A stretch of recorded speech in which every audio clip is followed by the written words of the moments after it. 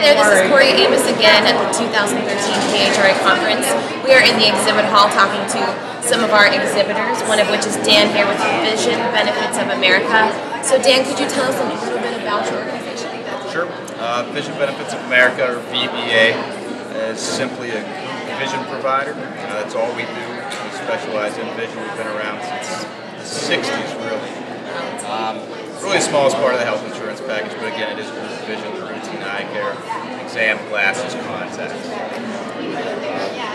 That's pretty much. That's pretty much it. It's very, so you guys are very specific, and so you're probably able to. All we do, so we do it well. So you, oh, that's great. So you're here.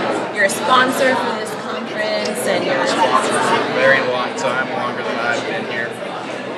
You may notice the bags walking around with the VBA logo.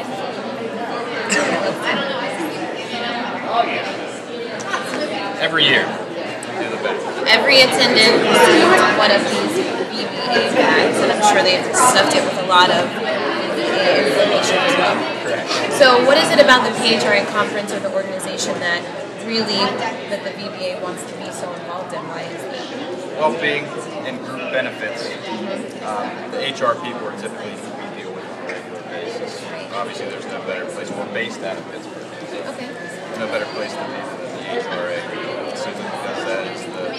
seja bem.